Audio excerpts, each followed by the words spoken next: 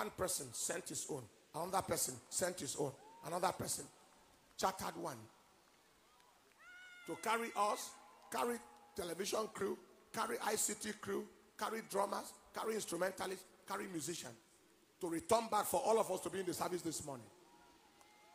That is the purpose of money.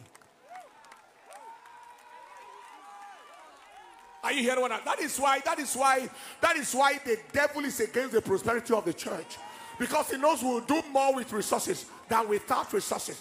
But I announce to somebody here today, in the name that is above every name, there is no power of shortage, no power of scarcity that will prevent you from doing the will of God in this end time. Everything in life is limited to money because money answereth all things. Without money, the roof on your head will not be there. Without money, that chair you are sitting on will not be there.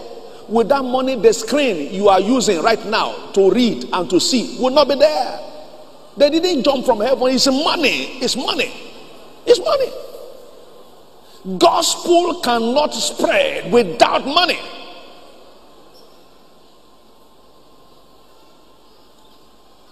And God gave it to you to spread it. Now, simple as it is.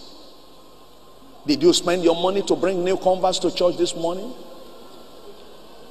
How do you expect God to give you more if you don't serve Him with what you have?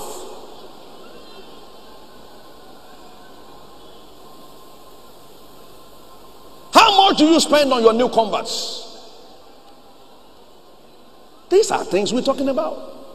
How much do you give for church development?